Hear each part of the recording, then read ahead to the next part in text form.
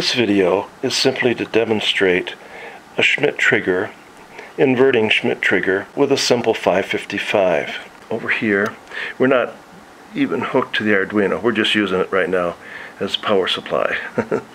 and what I have is a potentiometer right here uh, across the supply and the center tap is going to go to the input inputs of the uh, 555, 2 and 6 and I'm going to run that thing up and down so you can see where the trigger points are. About a third and two thirds is where we're going to find those.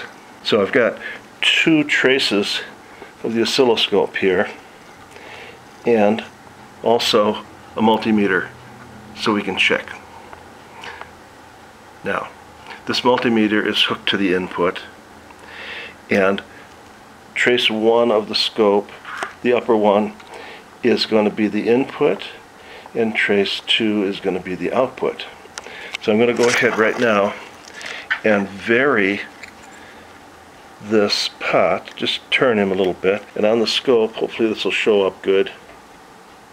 You can see if I go up at a certain point, trace 2 drops down. Let me drop down again. And I've got to go below that trip point. You can see him, there he goes. And on the, um, on the multimeter, you can see that's about one and a half volts, 1.57.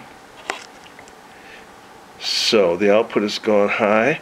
Now we're going to bring this output again. See, he goes low, no problem. No change, I should say. It's not a problem. I'm going higher again.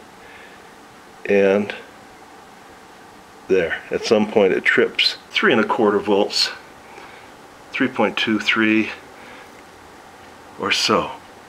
So we've got our upper and lower trip points based on the varying input, which is simply the, the potentiometer. I'm going to drop him down once more. There we go. Tripped up high.